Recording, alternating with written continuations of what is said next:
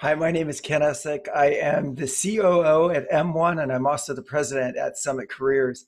I actually met Michele through my role at M1. M1 is a, is a worldwide mastermind, and we help people improve in all areas of their life. And we brought Michele on as a guest to talk about mindset around financial uh, abundance and just the work that she does. And as I'm talking to her, I'm realizing that I might uh, I might be a good candidate for this. And so I reached out to Michele immediately after. I was drawn to uh, what I saw and then came to learn uh, was a true authenticity. Uh, I like that she cuts to the chase. I like that she tries to get to the root of the problem, and that's exactly what she did with me in my very first session with her.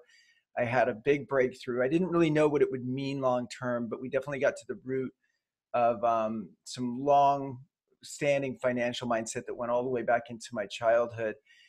And then there's one incident that happened uh, with me maybe 20 years ago where I lost almost everything, literally millions of dollars, thought I was going to have to go bankrupt. And every time I think about that incident, which was a lot, I would think in terms of shame and, and devastation and all these kinds of like just really, really big negative feelings.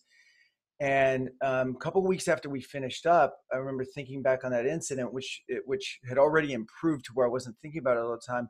But the big breakthrough was like looking back on it and just not tying any emotion to it whatsoever. It was just something that happened. In fact, if anything, I would say, "Wow, wasn't that cool that I could make that much money so young? And what did I learn from it, et cetera, et cetera." And so um, things are going really, really well. I am so appreciative of Michele and the work that I did with her. I highly recommend her. If you're thinking about it, just do it.